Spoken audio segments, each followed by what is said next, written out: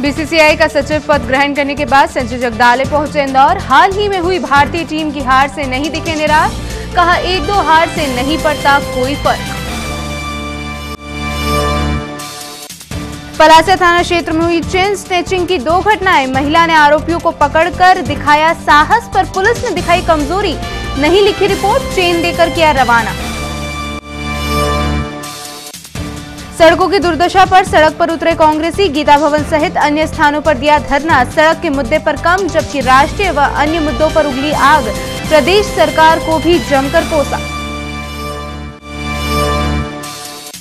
BTV news की खबर का हुआ असर। नजबंदी फेल होने से पीड़ित दंपति को मिलेगा मुआवजा। छात्र संघ चुनाव को लेकर प्रशासन ने कसी कमर। विवाद की आशंका के मद्देनजर होगी वीडियोग्राफी। कंट्रोल रूम से भी रखी जाएगी नज़र।